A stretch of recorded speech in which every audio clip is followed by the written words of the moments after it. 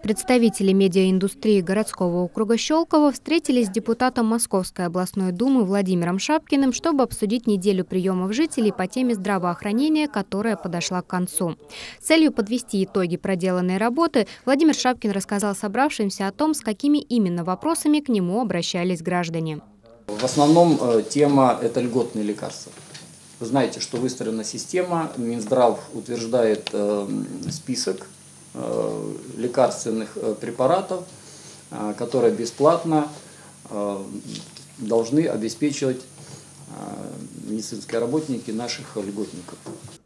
Но порой людям необходимы те препараты, которые не входят в перечень зарегистрированных в нашей стране лекарственных средств. Тогда на помощь приходят представители власти.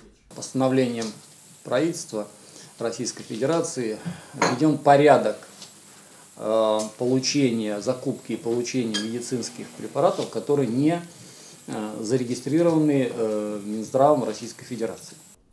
Одним из самых часто задаваемых вопросов стала возможность попасть на прием к узким специалистам. Для граждан существует сразу несколько вариантов для записи к врачу. На сайте госуслуг, по горячей линии губернатора Московской области, при получении направления от другого врача, а также непосредственная запись в самой поликлинике с помощью специального терминала.